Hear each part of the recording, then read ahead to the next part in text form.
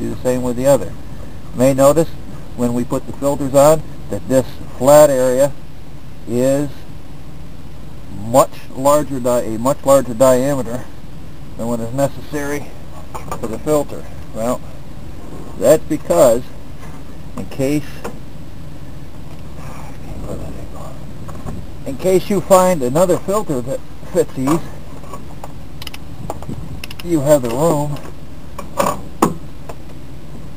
the room to uh, put a bigger filter on.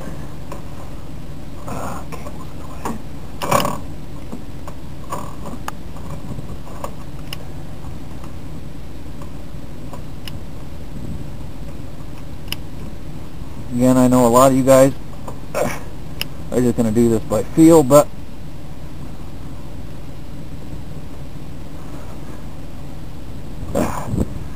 boy, I'm in the wrong position for doing this. But you're supposed to torque them, which is what I am doing.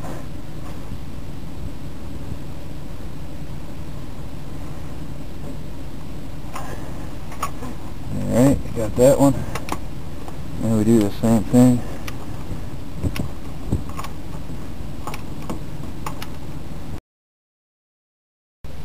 Okay, you probably noticed a change in the video. Darn camera. Batteries died in it. So, from where uh, we just left off, I just needed to finish torquing that fitting. So, you grab your spin-on filters,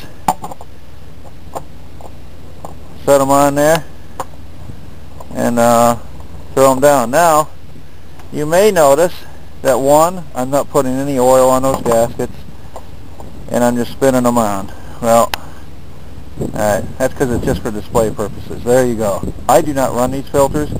These are Napa 1794 filters. They're big. They cost a little bit more. There's no need for them.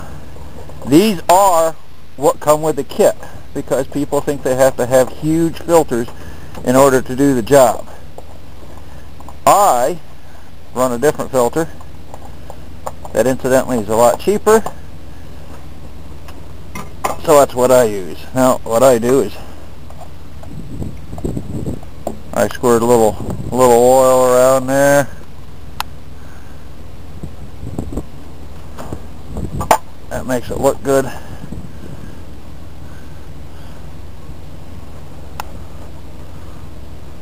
This is also part of the reason why I'm not too worried about the steel being exposed.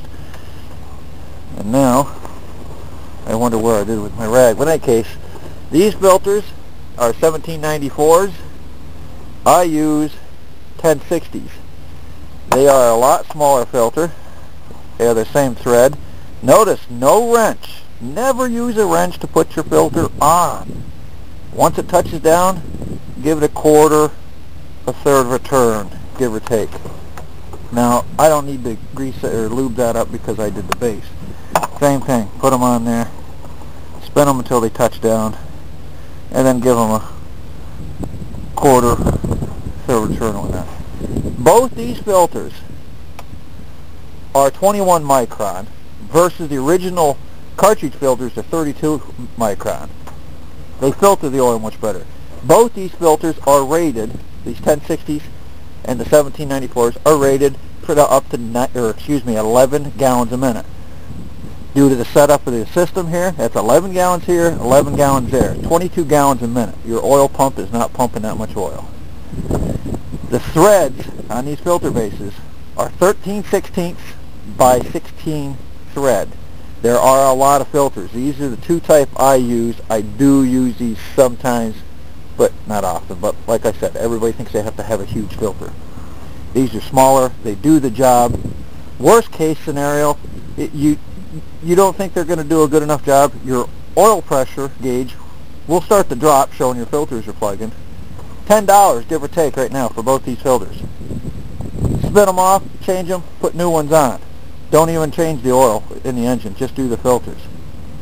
These incidentally have the anti-drain back valve. Using these filters, when you start this engine, you have almost instantaneous oil pressure to the engine. These, however, do not have anti-drain back valve, though you still get oil pressure a heck of a lot faster than what you do with the fume filter. So there you are. Anything that I might have forgotten, you have already seen or will see uh, added as text in the video. So there you have it. Spin-on oil filter adapters for 2.5 5-ton multi-fuel G742 and G744 with an LD, LDT, or LDS engine. Thank you. Hope this helps you out.